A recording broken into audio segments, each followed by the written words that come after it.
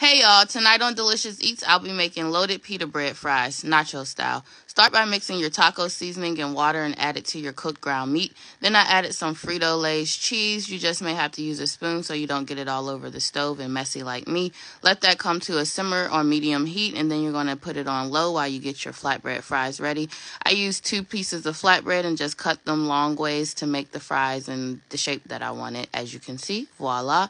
Then when my grease was hot, I added them to my pan and let them fry on about one minute each side, three minutes total, just until they came to a nice golden brown. Being that it's already cooked bread, you didn't need it to cook that long. Then I added some additional taco seasoning to the pita bread fries, and now it's time to make our nachos.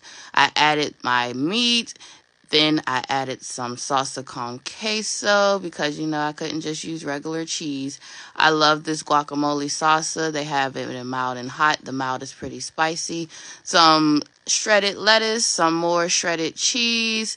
Then you know I couldn't leave out the salsa restaurant style because I was feeling a little, you know, like I was at a restaurant. And don't forget the sour cream and voila, look at that. It was nice and crunchy. Mm.